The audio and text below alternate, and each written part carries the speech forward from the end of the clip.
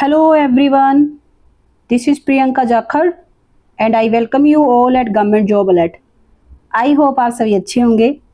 तो E T T उन्नाथ चौरानवे के कैंडिडेट के लिए एक बहुत ही अच्छी और एक बहुत ही बड़ी अपडेट है कि देखिए जो ट्वेंटी एट ऑफ़ जुलाई को जो आपका पेपर ए हुआ था उसकी आंसर की का वेट सभी कैंडिडेट कर रहे थे कि जल्दी से आंसर की जारी की जाए। तो फाइनली अब आपका जो इंतज़ार है वो ख़त्म हो चुका है। जो पेपर ए की जो ऑफिशियल आंसर की है, वो जारी कर दी गई है। आप जैसे देख पाओगे कि ये जो एक ऑफिशियल नोटिफिकेशन है, ये जस्ट अभी कुछ टाइम पहले जस्ट अपलोड किया गया है। और आप यहाँ पे देख पाओगे कि आंसर की के रिगार्डिंग बोला गया है कि जो आपकी आंसर की है, वो अपलोड कर दी गई है।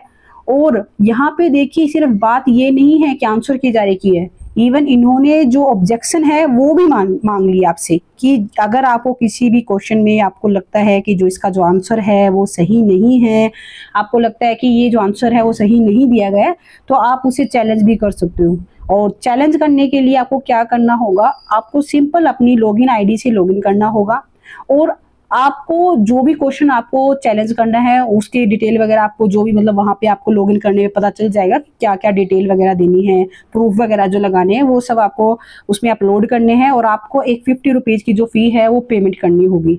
और फ़ी पेमेंट करके आप जो अपने ऑब्जेक्शन है, वो भी सबमिट कर सकते हो। और ऑब्जेक्शन के लिए देखिए इन्होंने जो टाइम दिया है, वो दिया है फोर्थ ऑफ़ अगस्त का। यानी कि चार अगस्त तक का टाइम दिया है शाम को पाँच बजे तक।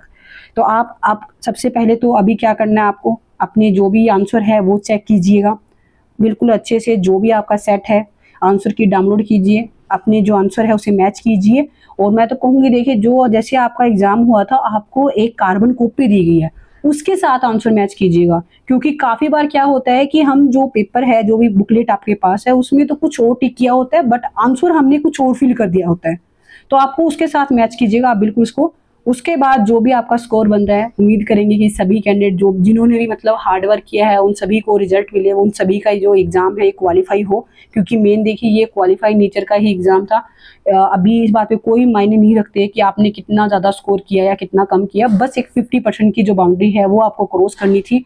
और उम्मीद करेंगे कि जिन कैंडिडेट ने हार्डवर्क किया और जिनके मार्क्स अच्छे हैं, जिन्होंने मतलब अपना एफर्ट्स लगाए, अपना हंड्रेड दिया, उनको हंड्रेड रिज़ल्ट भी मिले। और रही बात देखिए ऑब्जेक्शन के लिए तो बता ही दिया आपको कि चार तारीख तक आप ऑब्जेक्शन लगा सकते हो। बाकी सही बताऊँ तो देखिए, मेरा तो ये मानना है कि कोई भी क्वेश्चन हो, उसका आंसर गलत ना हो। मतलब सभी क्वेश्चन ऑलरेडी सभी सही हो। किसी को ज़रूरत ही ना पड़े किसी क्वेश्चन पे ऑब्जेक्शन लगाने की, क्योंकि सबसे पहले देखिए, यहाँ पे मनी का भी लॉस होगा कैंडिडेट का। फिफ्टी रुपीज़ फ़ीस मांगी गई है, जो कि अपने आप में मैं खुद मानती हूँ कि ज़्यादा है एक कैंडिडेट के लिए फिफ्टी रुपीज़ को रेज करना, किसी क्वेश्चन को चैलेंज करना। दूसरा, अगर किसी भी क्वेश्चन को अगर चैलेंज नहीं किया जाएगा, अगर सभी के क्वेश्चन के आंसर सही होंगे तो जो लास्ट टाइम जो हमें एक इशू देखने को मिला था, आप सभी को याद होगा कि जो ग्रेस मार्क्स वगैरह का जो इशू हुआ था, उस तरह कोई भी इशू अराइज नहीं होंगे। तो हम उम्मीद करेंगे कि जो आंसर की, जो जारी की गई है, उसमें किसी भी तरह की कोई भी एरर ना हो, बिल्कुल एरर भरी आंसर की हो, और बिल्कुल अच्छे से आगे की जो प्रोसेस है, उसे भी स्टार्ट किया जाए। और अब आप सभी अपनी आंसर की चेक कीजिएगा। और बताइएगा कि आपका क्या स्कोर बन रहा है, जो भी आपके स्कोर है, उसके रिगार्डिंग भी कमेंट ज़रूर कीजिएगा और आंसर की जल्दी से डाउनलोड करके ज़रूर चेक कीजिएगा। और आगे कोई भी इसके रिगार्डिंग अपडेट आएगी, वो अपडेट भी आप लोगों के साथ शेयर कर दी जाएगी। और मोर अपडेट के लिए आप टेलीग्राम चैनल पे ज़रूर जुड़िएगा। टेलीग्राम चैनल का जो लिंक है, आपको नीचे डिस्क्रिप्शन बॉक्स में मिल जाएगा। अगर आपकी कोई क्वेरी है तो आप क्वेरी भी पूछ सकते हो। Wish you all the best thank you